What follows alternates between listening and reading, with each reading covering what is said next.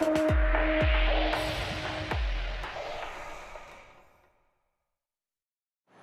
got it right here. Right here. Can you can you sit down? You cool? Yeah, hi, this is Kyle Neven, You N-E-V-E-N. wanna sit down here? Um, I, I'm on Right 8th behind you. Avenue you bend your- and bend your what street and am I on? down? Okay, 18th here's Street right and 8th here. Why don't you Avenue. sit down. There is a very muscular black man in tight green corduroys. I think he's um, Oh, yeah? had an overdose of a drug called GHB. I don't know because I don't know the guy, but it looks like that's the signs. You got a friend or, or He is boy- he's breathing in us a wake. He's trying not you? to pass out. He's holding himself up against a pole. Take you home? But I don't gamma butyl hydroxide, or they call it G or, or G, Well, I don't- you um, know what? I don't think GHB should or be on. GBA. It's a party drug. You know.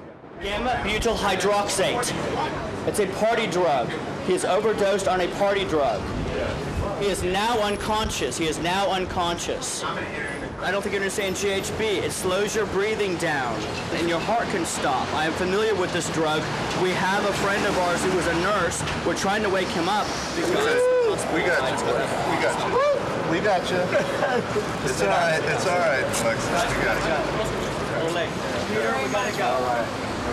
You know, I just hate to see somebody out there Falling by out the themselves so having to go through that. And A lot of times people do it thinking that they're doing an amount that they can handle, Right. and that's the wild card with those drugs is that you just don't know. yeah, but I mean, we did the right thing. We made sure Yeah. we stayed with him, called 911, kept his airway open, made sure he's breathing.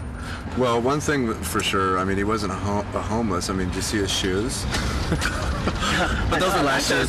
Those are nice boots. But those are last year products. I'm just kidding. Poor thing. I, I just, I hope he's okay. He will be. He will be. Yeah. Yeah. What about you guys? Do you take drugs? Not anymore. Yeah, Not anymore. I mean, you know, we've experimented. I've experimented, but I've uh, experimented and had my day, and but I learned from it. Yeah. So that's the important thing. you know, a, a drink, cocktail. You don't do ecstasy anymore. We haven't don't. haven't for a while. Nothing. Smoke a little pod. Oh my God, you're as clean as me now. You know, it's like you. you Would you do ecstasy on the right night?